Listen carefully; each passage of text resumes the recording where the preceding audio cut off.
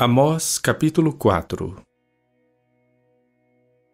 Ouvi esta palavra vós, vacas de Bazã, que estais no monte de Samaria, que oprimis aos pobres, que esmagais os necessitados, que dizeis a vossos senhores, dai cá e bebamos.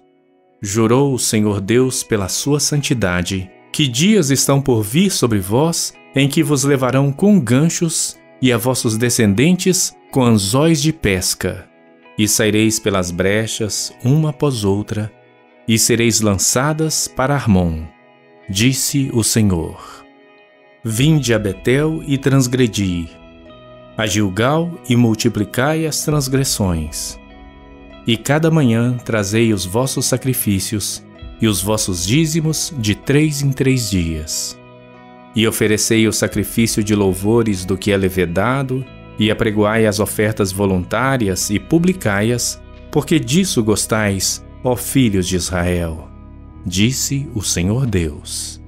Por isso também vos dei limpeza de dentes em todas as vossas cidades, e falta de pão em todos os vossos lugares.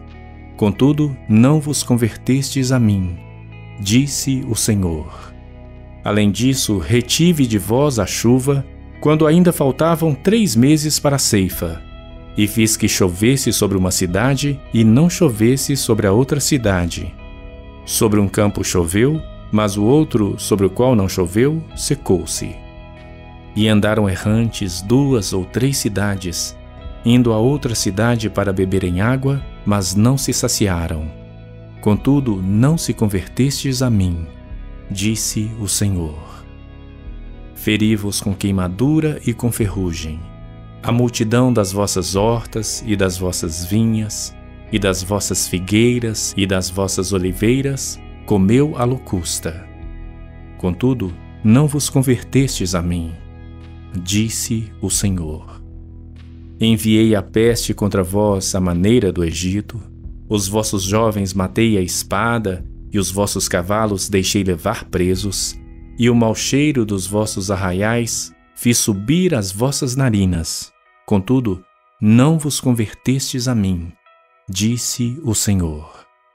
Subverti a alguns dentre vós, como Deus subverteu a Sodoma e Gomorra, e vós fostes como um tição arrebatado do incêndio. Contudo, não vos convertestes a mim, disse o Senhor. Portanto, assim te farei, ó Israel e porque isso te farei, prepara-te, ó Israel, para te encontrares com teu Deus.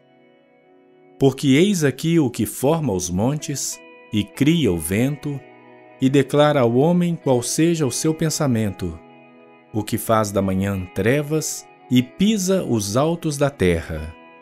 O Senhor, o Deus dos exércitos, é o seu nome.